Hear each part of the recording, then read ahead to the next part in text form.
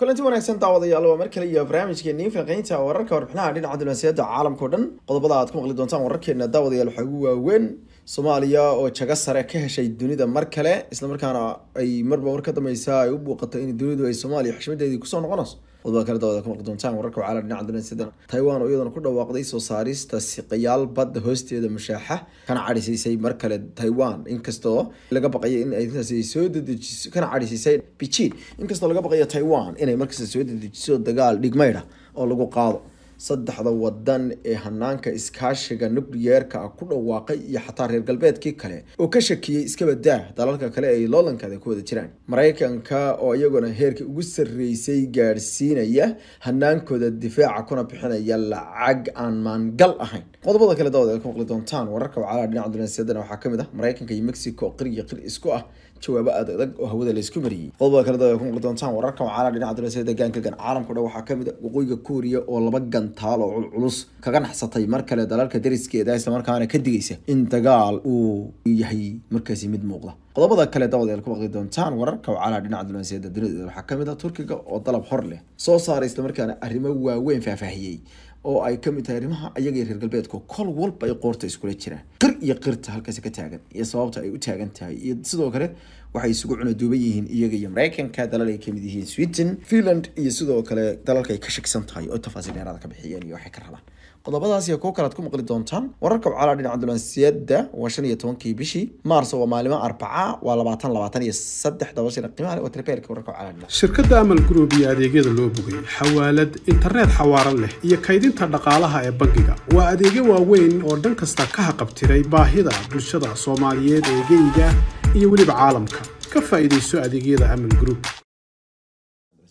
Soomaaliya ayaa la ogaaday in ilaa iyo konton ka mid ah haramcadka laga badbaadiyey dad qowleysata ah haramcadka ayaa la sheegay in deegaanada waqooyiga ee soomaaliya laga markaasi maamulka somalilan hadeerto loo yaqaano laga masaafuri rabay. Ka hor intii aan dhexda laga qaban siday wararku sheegeen wararku waxay sheegayaan in ay arrintan u muuqatay in ay dhibaato aada u weyn ay noqon lahayd. Haddii aan laga gaadhin ayaa layidhi kadib markii laba qof oo walaal ah ay isku dayeen in ay xadaan konton ka mid ah ayaa layidhi haramcadka gaar ahaan kan dheereeya ee soomaaliya jooga wararka ayaa sheegaya in goortii horeysay hay'adda loo yaqaano chita rescue and conservation center ee xarunteeda la yidhaahdo ayaa geed deeble ee duleedka magaalada hargeysa ee soomaaliya.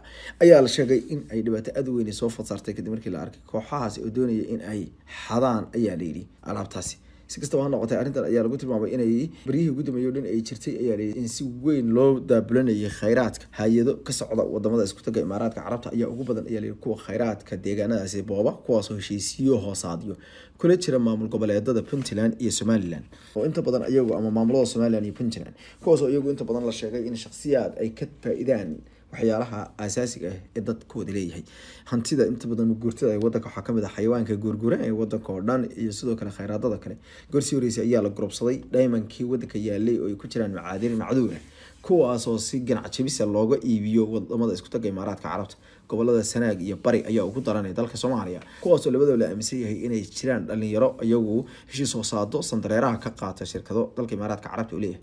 Imaaraadka ayaa u arkaa soomaaliya meel baylaha islamarkaana waxa uu dhowr jeer ganac jabiyey xanaanada dhinaca dhaqaalaha ee wadanka gaar ahaan dekadihii muhiimka ee wadanka iyo wuxuu ku ganac jabiyey qiimo aada hooseeya. Kadib markii uu xoogaa u tuuray lacaga qaar ka mid a siyaasiyiinta maamuladaasi tarbiyaalka wararka wacala dhinaca dunaasiyada dunida o dhan turkiga ayaa markii ugu horeysay waxa ay tafaasiil ka bixiyeen waxyaalaha ay isku hayaan iyaga maraykan markii ugu horeysay ayaa si furan waxaa u fadhiistay madaxa la taliyaha amniga qaranka dalka si turkiga ahna ninka gacanta midoogu ah madaxweynaha dalka turkiga ninka la yihahda ibrahim kalin ibrahim kalin markaasi ka hadlayay shirka loo yaqaano u s turkiya business forum ka dhacay washington d c halkaasoo ay ganacsatada dalka maraykanku ay ku casuumeen madaxaasi guud si ay dhaqaalo ugu ururiyaan dadkii ku waxyeeloobay wadanka turkiga ayaa halkaas waxay kaga dhawaaqeen lacag gaarhisa boqol iyo toban milyan oo dollar oo iska ururiyeen ganacsatada dalka maraykanka isagoo tafaasiil dheeraada bixinaya ayaa ibraahim kalin wuxuu markii u horeysay ogolaaday in su'aalo tirabeela ay weydiiyaan ka soo qaybgalayaasha xafladda iyo wariyaashii lagu casuumay. Waxa uu sheekeeyey in ay dowladda dalka turkiga iyo dowladda mareykanku ay u baahan yihiin istaraatiijiyo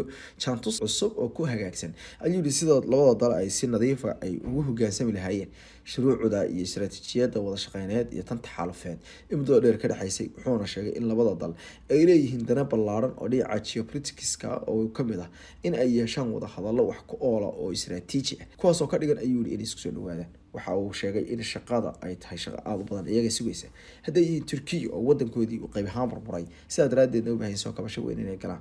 Dabeedna waxa uu ka sheekeeyey arrimaha siyaasadda ee laysku haysto. Waxa uu sheegay in dowladda dalka turkiga inay leedahay door aada u weyn caalamka ah isagoo tusaale u soo qaatay waxay ka suubiyeen wadahadaladii ay ku guuleysteen qayb ahaan ay dhex dhigeen waddamada ruushka iyo ukraine kuwaasoo ku aadanaa inay ugu yaraan lix bilood muddo ka badan ay wadeen heshiiska loo yaqaano kan cuntada waxay kaloo sheegay in markii adduunka dhibaato weyn oo dhinaca gaaska ay soo food saartay.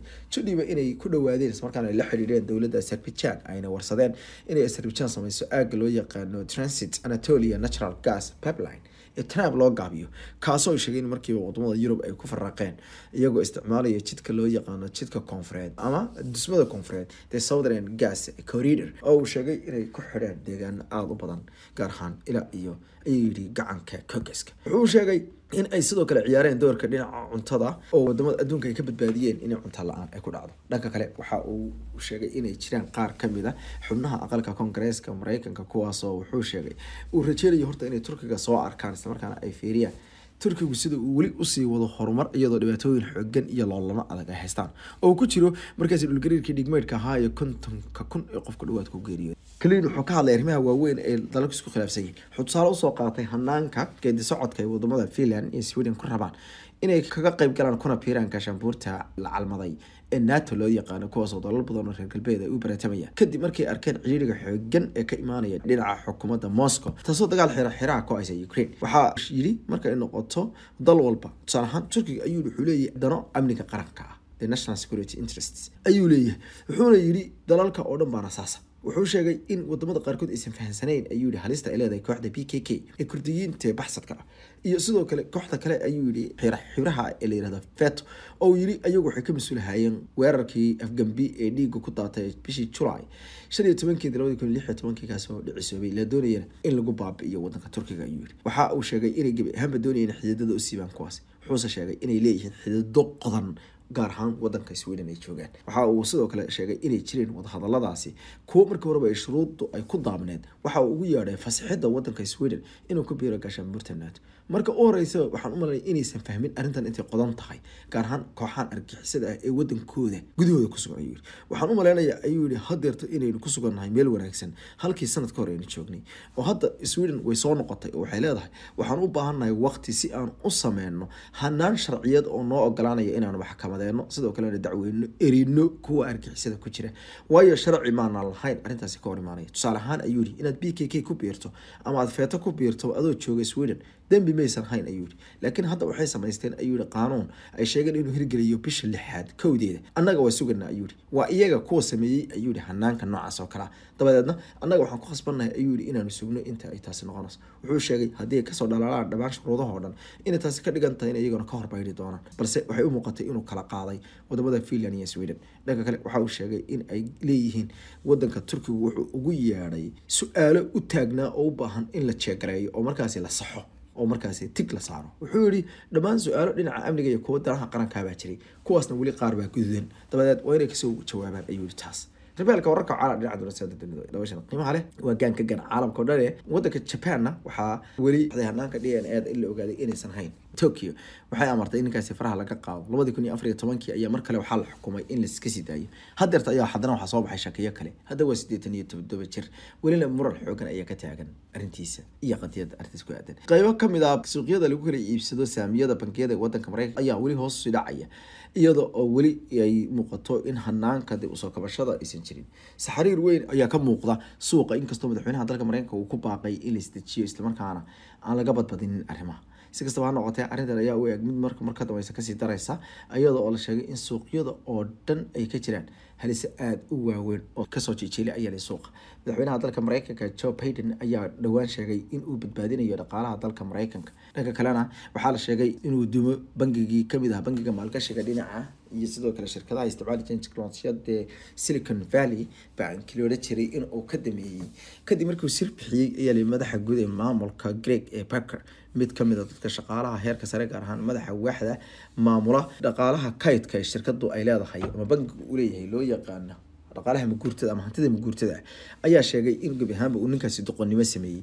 Wuxuu yihi iyadoo ay ahayd in laga shaqeeyo dejinta hanaanka iyo sidoo kale qorshayaasha kala dameeya ee lagu badbaadinayo lacagta dadka u taala bangiga ayuu hal ayuu yihi uu la wadaagay. Xogtan ayuu yihi saxaafadda islamarkaana sheegay in bangigu uu masalafay. Tani waxay soo dedejisay dhibaato aada u xoogan. Daqiiqada kadib markii bangigu shaaciyey inay koob iyo labaatan bilyan oo u dhigantaa hantida ay leeyihiin ay gadayaan ayaa hal waxa uu bangigu lumiyey ku dhawaad laba bilyan hal dhabiic sideed bilyan oo doolar taasoo dedejisay in bangigu uu musalafo waaxda kaydka dhaqaalaha dalka mareykanka ayaa goorsii horeysay ku raacday. Waaxda ilaalinta lacagta kaydsan ee dalka mareykanka in ay si weyn looga howlgalo sidii bangigan loo badbaadi lahaa gaar ahaan lacagtii dadka u taalay hase yeeshee madaxweynaha dalka mareykanka ayaa weli ku guuleysan inuu soo celiyo kalsoonida dadka ee luntay. Qeybta labaad wararka cala dhinaca dibasiyada